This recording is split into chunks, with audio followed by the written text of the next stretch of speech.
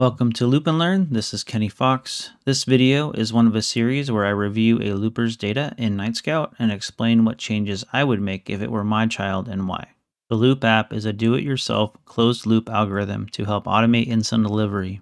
It is experimental and not approved by the FDA, this presentation is provided to assist you in making your own decisions in consultation with your healthcare professionals regarding your own diabetes self management. You take full responsibility for building and running the system and do so at your own risk. Remember that your diabetes may vary and that I am not a medical professional and just sharing my approach to managing diabetes with Loop when I'm looking at a Nightscout site from someone is first we want to get some defaults set up. So the defaults are not optimal for you to just pop in and look at this. Now you can you can change them in your browser when you want to, but you can change the defaults for uh, the whole site. So anytime you open it up, it's kind of the way you want. A couple things I'll do real quick. Make sure the basal render is set to either default or icicle, but we need something. Got to see the basal.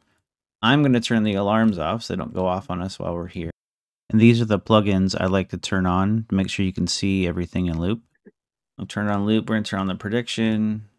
There we go. Okay, so this is basically what you normally want to see, right? You want this nice purple prediction line. You want to see the basal rates kind of up and down. And then ideally you want most of these little pills, these uh, pieces of information in the top right visible. So that's the first step. Second step is we're going to look at the settings. I posted the settings. It's uh, kind of below my face over here. You can see the carb ratios, the ISF, and the basal rates. Hopefully they're somewhat visible. If I need to zoom in on the basal rates so you guys can see it. These are the settings we're working with that Boyd's got rolling right now um, as well as looks like he's got a current override on for uh, a target of 12. You guys can see that up here. So quick question, since I have you here, why do we have a override target of 12 going right now? Uh, he has soccer practice at 5.30. Okay, so, so, you're getting ready for, for activity. Okay, yeah, to, great. he can't have like any IOB or he definitely goes low. So Okay, perfect. But he also ate a muffin too, so that kind of messed that up. he still needs insulin for his food. Good call. Yeah. Currently, the basal rates are running 0.2, 0.15, 0.2, 0.15, so kind of alternating a little bit. And then you have a big one, looks like at bedtime, 8.30, right? Yes. Okay. And then a 0.15. So he's usually asleep around 8.30 or after that? Yeah, around there. Okay. Right. So for the most part, you're running close to one rate overnight, which makes this easier mostly to figure out. There's a little bit of combination here. Some of the math will be a little tricky, but first glance, you can just look across the 48 hours and you can kind of see how we're doing just staying in range, which for the most part is pretty good. Green is good. Nothing too crazy here. But first thing I always do, so this is something I do with Tessa every morning. If I need to, I can bring hers up as well, is I scroll back and look at the night and kind of look at the whole night and if the basal at night's good, then we can kind of base everything off of that. And the, one of the reasons you do that, one is because it works and this most consistent and there's no, not a lot of food you're dealing with unless it's left over from dinner, that kind of stuff, no activity. So that's easy to do. And then when insulin needs shift, let's say they're getting sick or something like that, and you can catch it overnight, oftentimes that means you can go ahead and make adjustments for the rest of the day sort of based off. What I do is I roll out of bed and then I look overnight and try to make sure that our basal is accurate for the day. And that's either going to indicate an, an, insulin need change if it's not right, or possibly a failing pod site and I can catch it before she has breakfast. As we're going to do with Boyd is I'm going to grab down here and slide back. And we're going to take a look at this overnight. Now we do have an override of 90%. Looks like it's scaling back the insulin needs. So it's taking the basal rate at this time this override is running and reducing it by 10%. So we'll have to take that into account as we look at this. The other thing to look at right here, so we're seeing pretty flat line, which is nice, like the whole night, right, as we scroll back. Because there's nothing like super crazy here, it's looking pretty flat. The question is, are we flat at the right level? The correction range is down here. Looks like it's 5.6 to 6. You guys can see on the bottom. System's shooting for 5.6 to 6. So what we want to see is blood sugar hanging with near zero IOB in that 5.6 to 6 range. If it's hovering above, it may indicate basal's too weak. If it's running below, you'll also usually see negative IOB, so we'll have to watch for that. So we're at 5.4, kind of the low spot here after a few hours of sleep. And then dipping back down there, the low spot is 5.6. And then we go in the middle, we're a little higher, kind of over 6, right?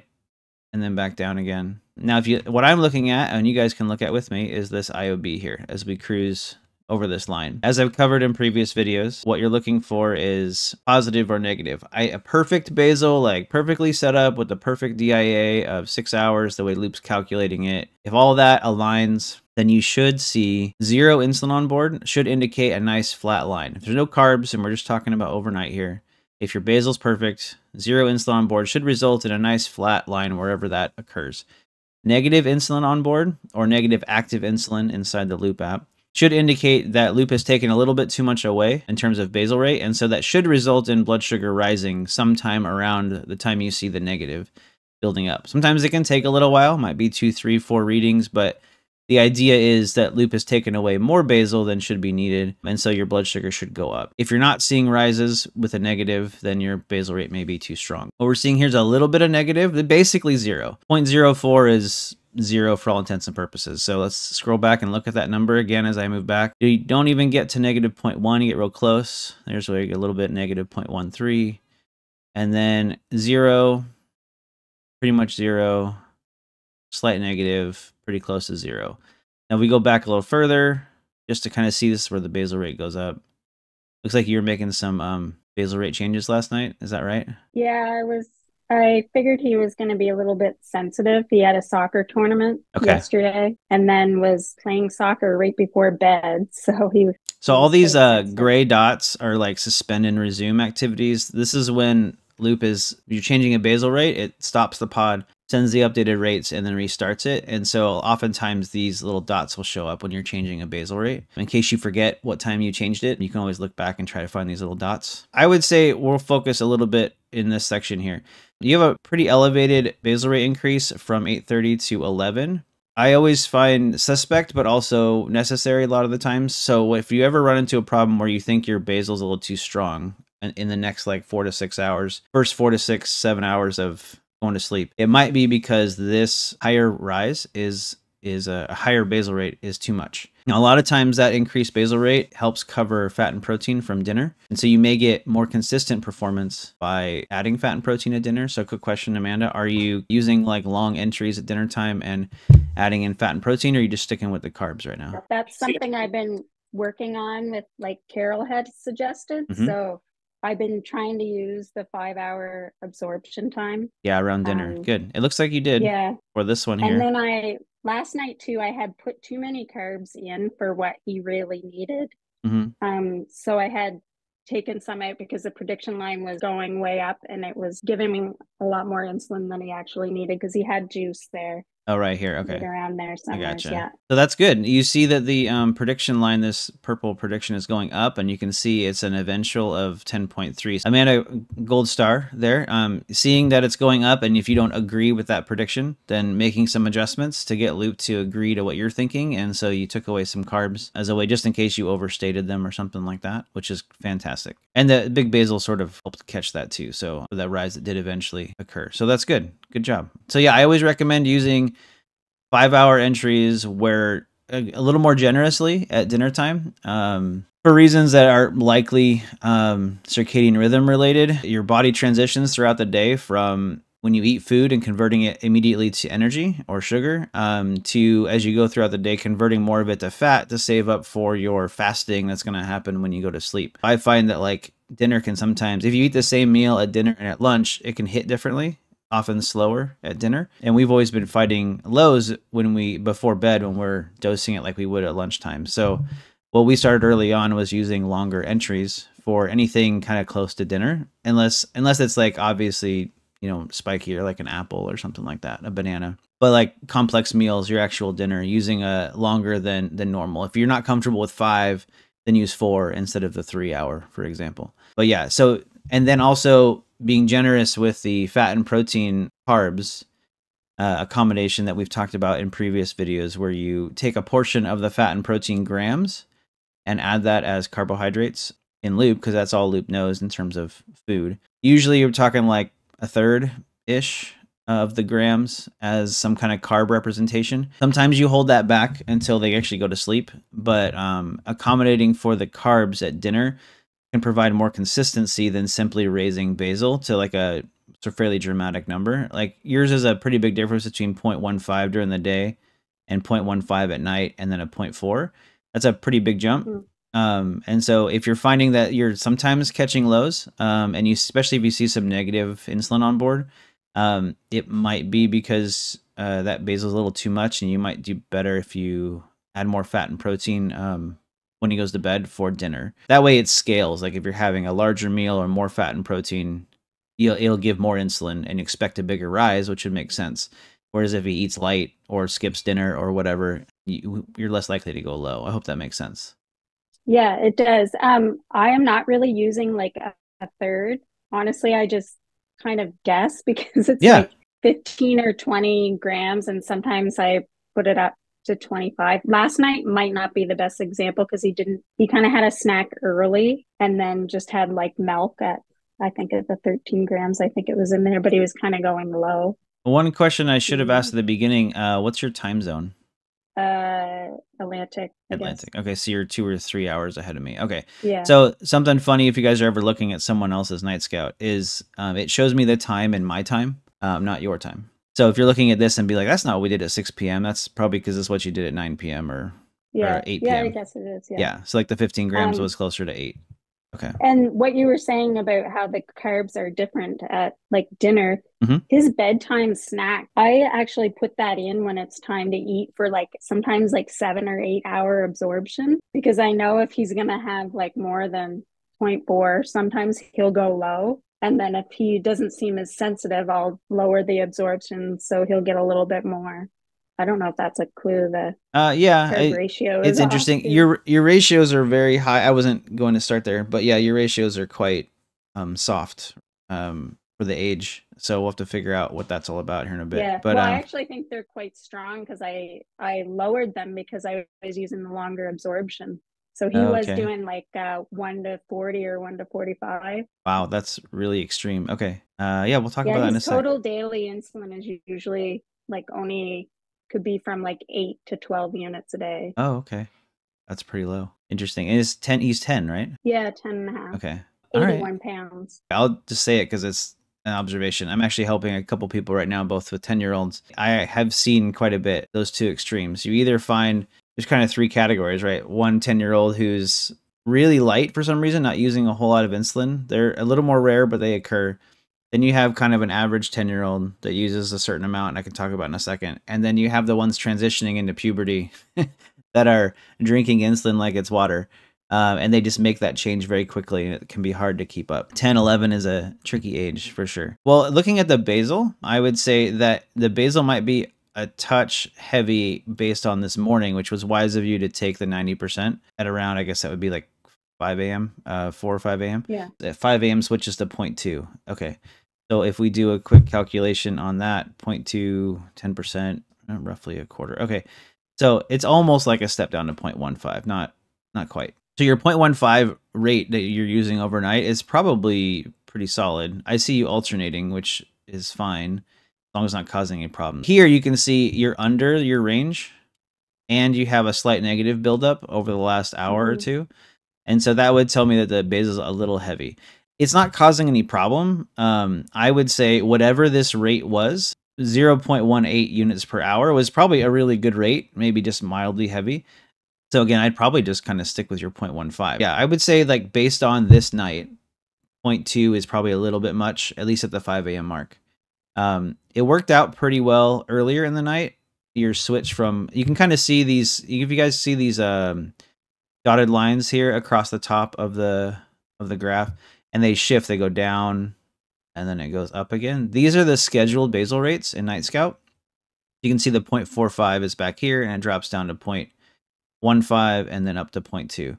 Um, so you can see where that changes. And you can kind of see the 0.15 ends up being a little bit light, um, even with your big increase, because you're riding just above your range, but you're running at zero insulin on board. Now, you end up he ends up settling right back down and at a really good range. So I'm not sure that I would change the rate here right now. But normally, my rule of thumb is we keep it really simple. So we try to keep as few rate changes as possible. So you might have an elevation for the first couple hours of the night. That's fine. Again, that's always the one that I pull back first if you have problems.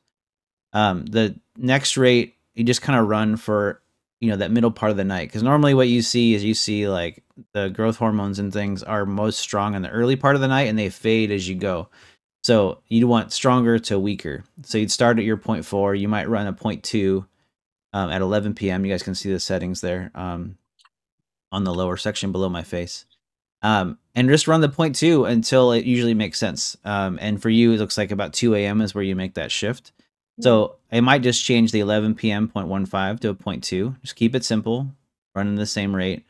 Um, and then if you need to, you can extend the 0.2 out to 2 or 3 or 4 a.m. and then transition to a 0.15 that you would run like you are. You're running 0.15 in the day. So I have a quick question for you. Since I see a 0.2 increase at 5 a.m., does he sometimes have like a morning rise? Is that why you have a slight bump there? Or is yeah, it to help he with usually breakfast? does. Okay. No, it's usually like uh five thirty or so. Okay. He usually starts going up. And you mentioned uh, snack earlier than normal. Did he go to bed earlier than normal? He went to bed er- later last night. Later. Okay.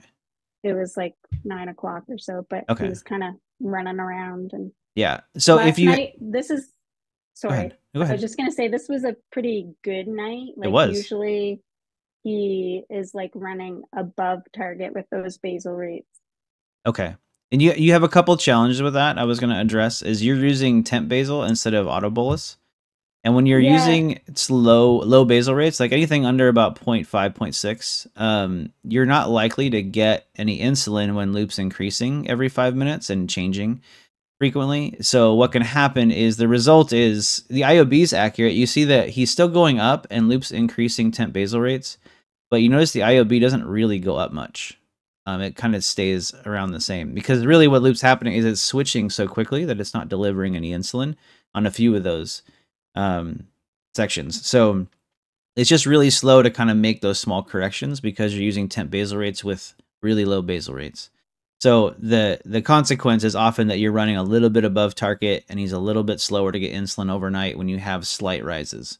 Um, so you might have better performance with autobolus unless you're worried about him going low. If that's if that's been a problem in the past, we can try to address that. But autobolus is at least overnight yes. with low rates are often helpful, but you have to be careful not to you can't overstate the basal if he's in between rates. So some of you guys who are older or maybe have higher basal rates 0.6 point, uh, 1.0 something like that um, this doesn't really apply so much but when you're talking about low rates um, body needs can be kind of between those rates. So he might need something between a 0.15 and a 0.2 because that's really a, a substantial in terms of percentage change of insulin. But the pod can only do certain rates right? It's not like a tandem pump or a medtronic where you can have smaller rates. And so by going on the heavier side of basal, because you got to pick one right uh, with autobolus can often send a little a person that's really sensitive low very easily. Yeah. And if that's what you guys, were you guys experiencing that before, Amanda? Yeah, we have, Okay. and especially with uh like compression lows too. Mhm. Like it might he might be laying on Overcorrect. and then he rolls over and then it gives him a little too much. And, Okay. and just a little much is a lot. Yeah, then that means you get to pick where you want to be. You either need to run on a slightly lighter side of basal overnight with autobolus, or you go ahead and stick with your temp basal, and he'll probably run to slightly above target. Um, the mom I'm helping right now, um, this last week or two, has opted for running on the lighter side of basal with autobolus, and has been happier with that. But you have to often temp down the, or lower the the ISF number to help compensate because you're going to be running on the lighter side of basal, but you want to make sure there's enough correction there to be helpful um, to kind of keep that line down in your range. So, um, but either way is fine. If you're if you're really worried about trying to get this six down to a five and a half, then um, you probably it'd probably be easier to do with um, autobolus and a lighter basal, if that makes sense. So, um, all that to say, people with low basal rates, it's sometimes hard to get precisely right uh, numbers and right where you want it to be. So you got to give yourself some grace and figure out on which side of that line you want to live on. Um, once he starts using more insulin, your life will get easier in that sense. Is like as long as you adjust to it, you'll have less life in between the rates. So give yourself a little bit of grace there.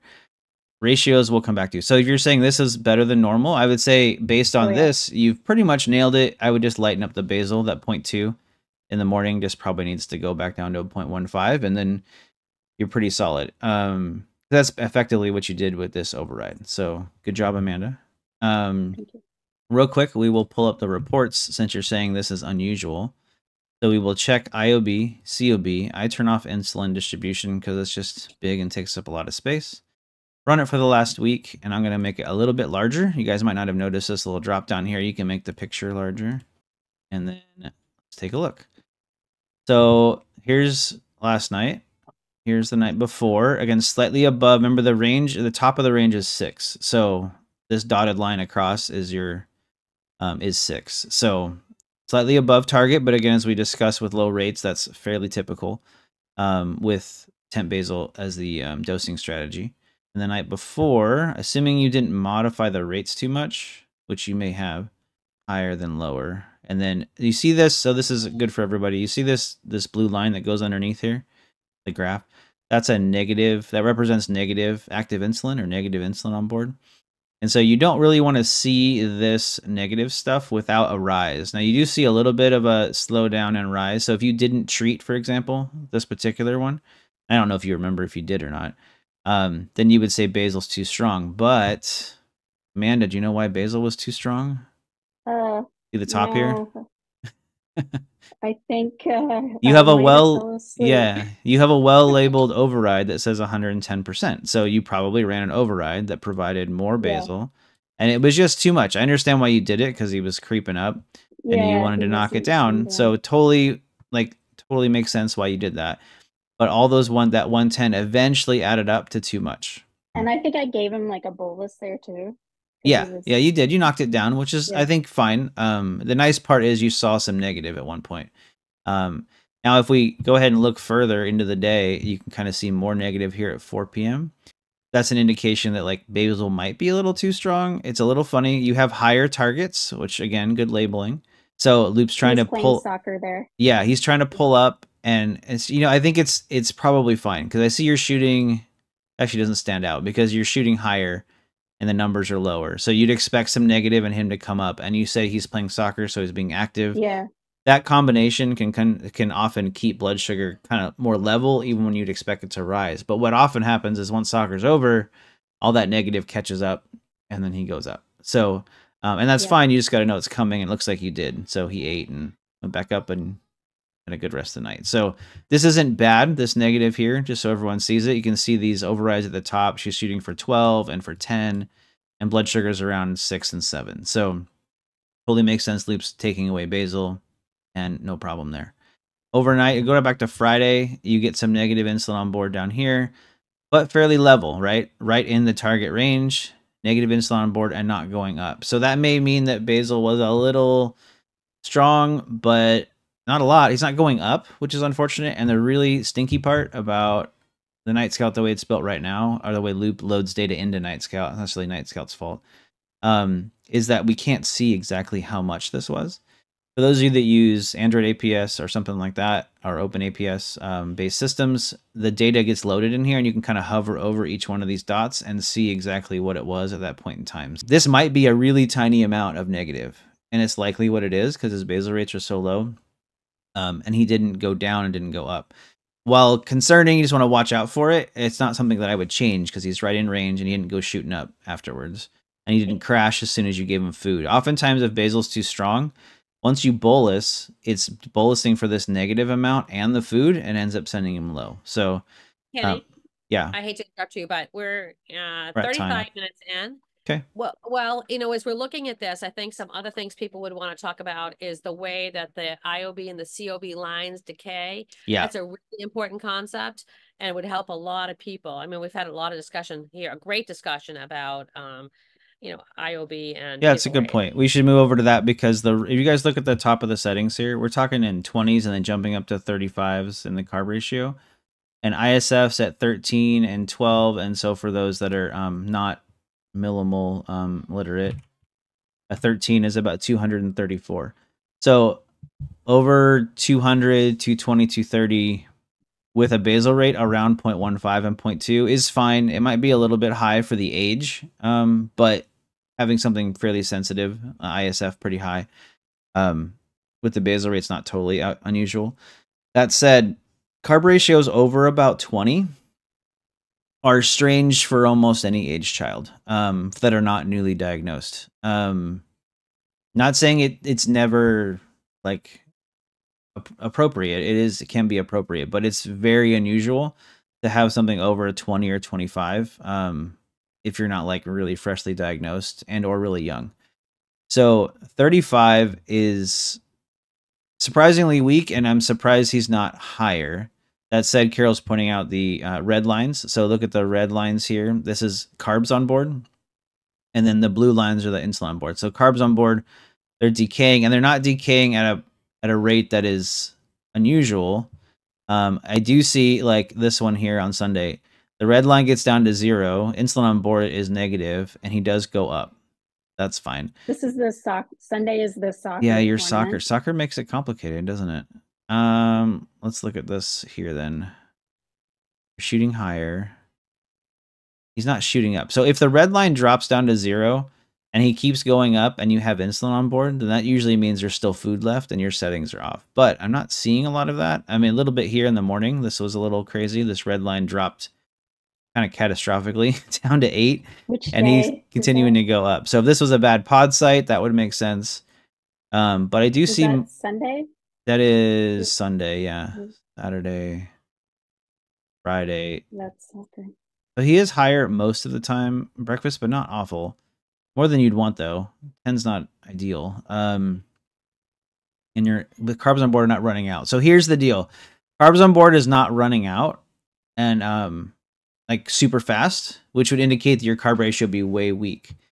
So here's I just had to do this with someone this last week. So if you feel like he needs more insulin for meals, which I would think is probably true, at least in the morning, um, but you don't want to be if you lowered his carb ratio for the morning, for example, um, this red line would extend even further and continue to live on for longer than you'd want. So, uh, what you may have to do is you would move carb ratio and ISF together. So, if you were going to, let's say, lower the carb ratio by, let's say, 10%, you'd want to also lower the ISF number by 10%. That would make sure that the red lines, the active carbs, um, sort of stay the same if you move both at the same time. If you move both up or down at the same rate, then um, you'll maintain active carbs sort of calculated in the same way, no matter what. So if you felt like you need a little bit more insulin, I don't know that I would just lower the ratio in the morning for the 530 21. The afternoons are a little bit wacky. I think that's partially because of the carb ratio being 35. How long have you used 35? That's a really big number. That's lower. I don't even using that for like not even a month with okay. the five hour absorption. But I like he on weekdays he has the recess. I probably don't record it um, that well where you see the higher targets and might uh-huh. be where he's going into recess and he does have usually a tab okay or something on a weekday yeah recess is at he's not super high which is good um, especially with your higher targets. He's not he's not actually reaching up to them. It's very unusual. I'm not sure that i would change a whole lot. What i would do is i would start to bring these 35s down to 30 and then 27 then 25 as you see his numbers running higher than you know when you're not mm-hmm. saying target high because that is so really unusual. I would expect that to shift over time but he is active during the day and you have soccer so i, I get that it's so unusual it's not kicking your butt on the weekend. Go ahead. See the like the weekdays? Um, usually when i dose him for his snack and his meal at school mm-hmm. i usually like dose him and throw on a higher target because he if he has the recess or whatever. continuing like and for the next recess he'll go low before okay. the recess and that's at the 1 to 35 okay. So you're so I usually get everything in and then put a target on so then the basal stop and you're not shorting the carbs right you're stating all of them i short them some you short them so some. Are we using settings to adjust for something that should be handled with an override? That's what I'm trying to figure out. Yeah. Um, yeah. It's, I don't really like, I kind of at this point just doing what seems to work is getting it all shut down because as soon as he oh. goes outside, he drops down.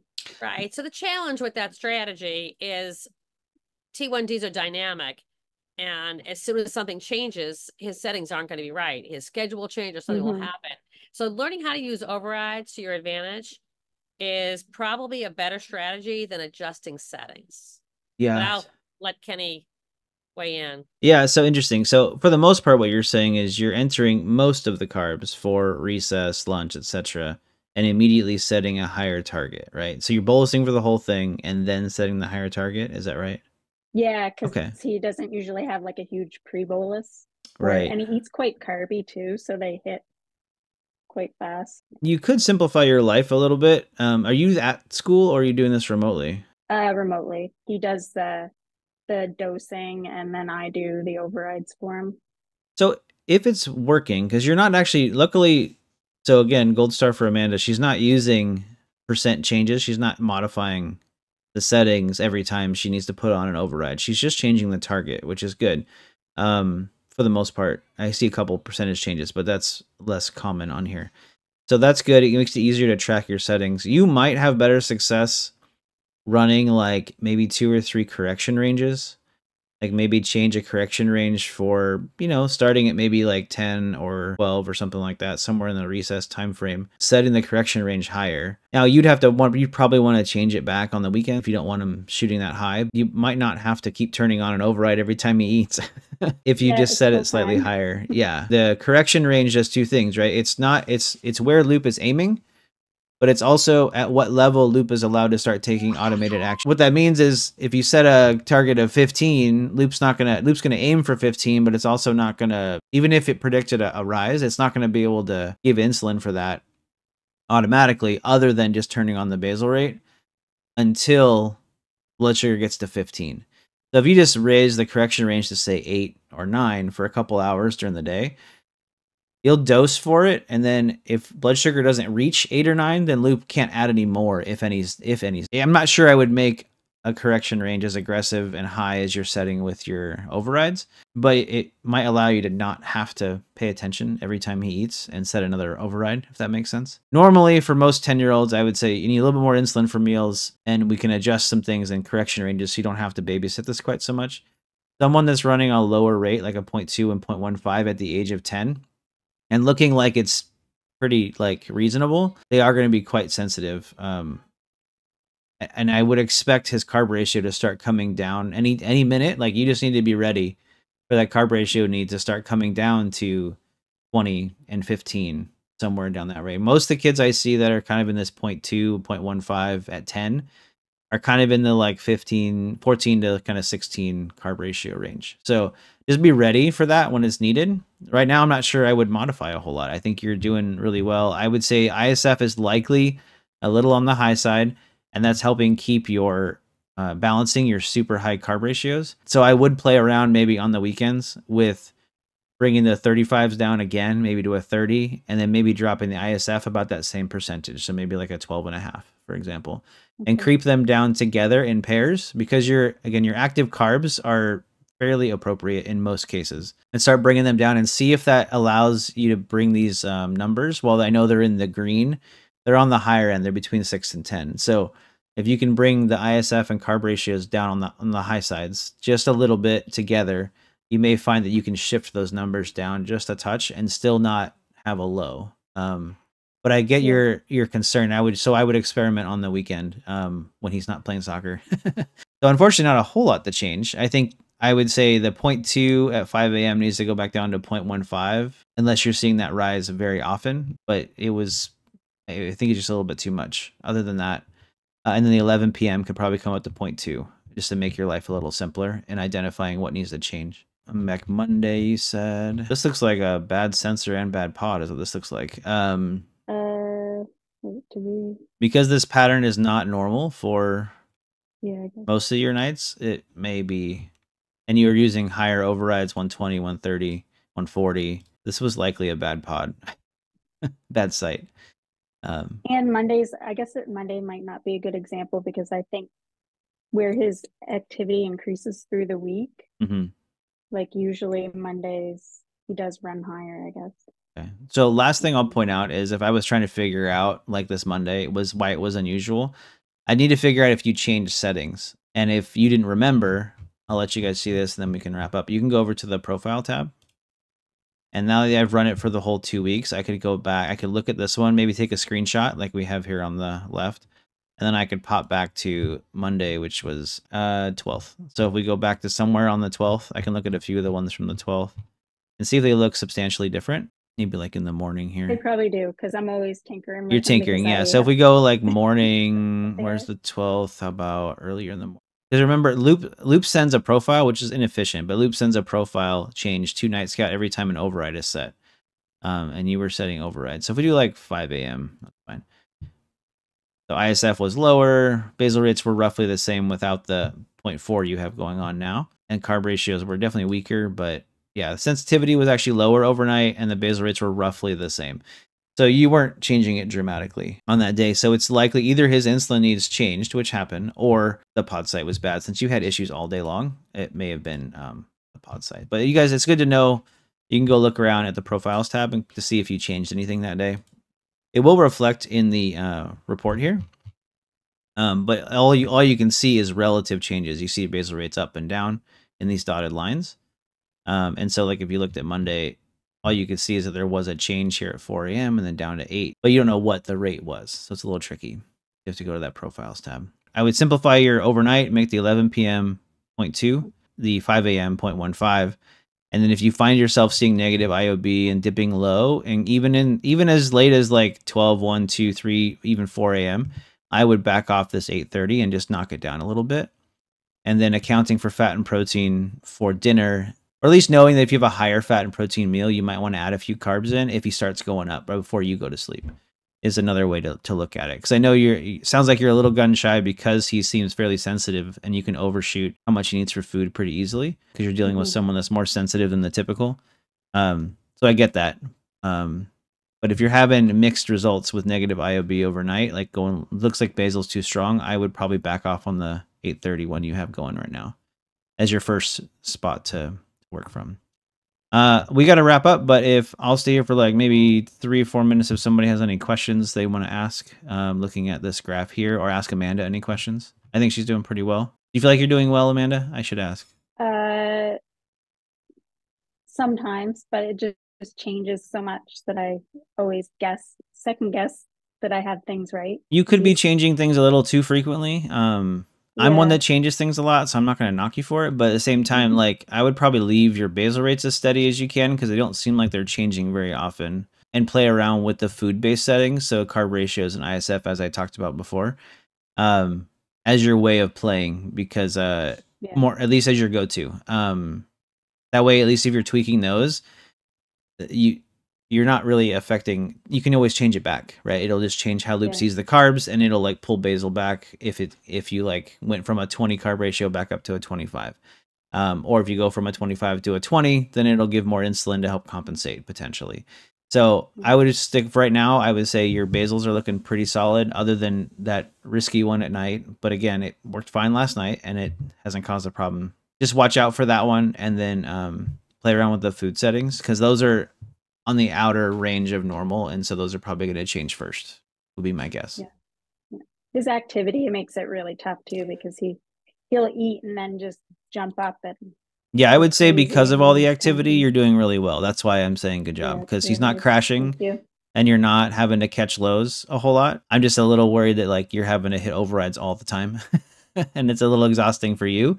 But um, I would say it's it's pretty manageable. And you may not need to, or you need to set those overrides. One last tip set the overrides for longer. Run a 10 target for three or four hours and come back and check on it later, right? Rather than setting it every 60 minutes. So, so let's pause here for a second. Does yep. anybody else have any questions for Kenny based on the graphs they've seen today or more general questions? Tip that I've learned recently. So I'm not one to change settings on a regular basis, but um, Marion, Marion has said, you know what? If it's lows, change it right away. Get rid of the lows, right? Adjust your settings. If it's highs, tinker, but then wait three days. Like, don't be changing things to adjust for highs that often. You could easily do hand to hand combat, right? Somebody needs a little bit mm-hmm. more insulin, give them a bolus, but don't adjust your settings based on one day because your settings, honestly, are meant to be for most days.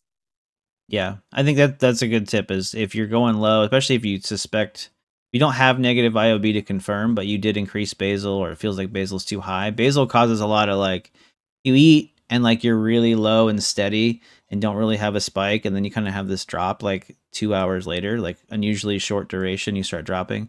That can be an indication of basal's too high. I'm I'm one to pull basal back when I see those things pretty quickly. When we're running high, it's so easy for it to be a bad pod site or you just missed on a meal, or if you're managing a kid, they ate something and they forgot to tell you and they didn't answer it. Um, it's really easy for those things to be the reason why you're high. Um, and so changing settings to deal with a high isn't always the right answer. Sometimes you just bolus the high and see if it resolves and how it resolves and see how it goes. I have had to deal with our fair share of bad pod sites, like leaking all the time. And Tessa's um, rates are high enough that we can do this. Someone like Boyd this wouldn't work. There's not enough insulin volume. But um, I've noticed as Tessa's insulin volume increases her total daily dose, I can bolus like, you know, five, six, seven units on a high. Um, and I suspect a pod site, and that will give me plenty of insulin to see it pooling and wet and gross, showing that it's not working well. Um, so I can prove that it's a bad pod site without having to wait hours and hours and hours. So um, but that is something you can try is manually bolus a high and then try to figure out what went wrong later or see if it happens again. If you can get back down into range, see if it happens again with the next meal. Then you're talking, okay, maybe it's uh it's basal, maybe something does not need to change. But I agree, yeah. Quick quick to fix the lows and slower to fix the highs um, in terms of settings.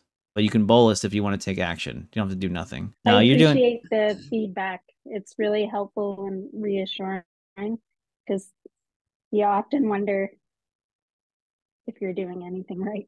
Yeah, I would just just my warnings around the extremes, those 35s and high ISF, those will probably yeah. need to change over time, and then you know watch for that high basal rate you put in place, um, and then smooth out and simplify your basal rates just a touch.